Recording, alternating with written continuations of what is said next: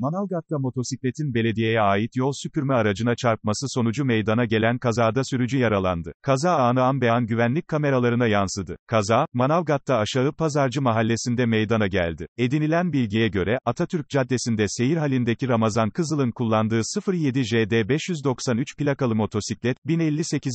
sokaktan Atatürk Caddesi'ne ilerleyen Hüseyin Y'nin kullandığı belediyenin 07 LKP 21 plakalı yol süpürme aracına çarptı. Kazada çarpışmanın şiddetiyle yola fırlayan ve yaralanan motosiklet sürücüsü Ramazan Kızıl, sağlık ekibinin olay yerinde yaptığı müdahalenin ardından ambulansla hastaneye kaldırıldı. Yoruldu ya. Adam bas bas bağlı. Kaza anı bir iş yerinin güvenlik kamerasına yansıdı. Görüntülerde, yol süpürme aracının caddeye çıktığı, motosikletin de hızla seyir halinde olduğu ve kamyonla çarpıştığı anlar yer aldı.